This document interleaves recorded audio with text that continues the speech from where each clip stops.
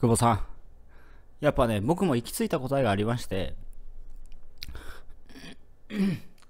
あの、口ではね、何とでも言えるし、動画の編集だと何でもできるわけですよ。何でも。ね、役者も使うこともできるし、何でもできます。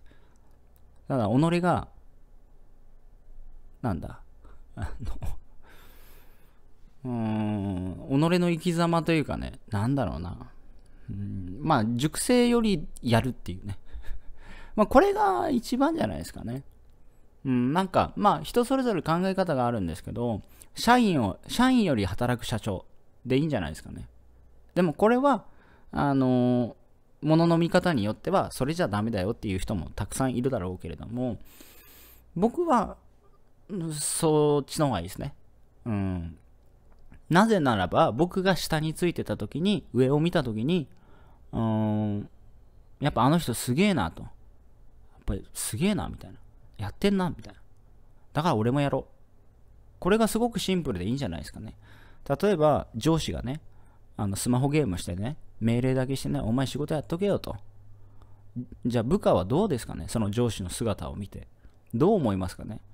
いつも上司はスマホアプリで出会い系ばっかして、ゲームばっかりして、指示だけして、怒るとき怒って。働きたくなります？僕が部下だったら嫌ですね、その上司は。ただそれが嫌か嫌いかっていう、ただそれだけですね。そう。だから要は、まあ行き着いた答えはもうね、背中を見せるっていう、自分がやるしかないのかなっていう。だから要は、言葉でも言いますけれども、人を動かせる、人に何かを感じさせるためには、自分が動く。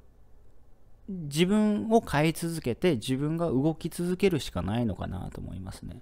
これは究極ですけどね。うん。これからはまあ自分を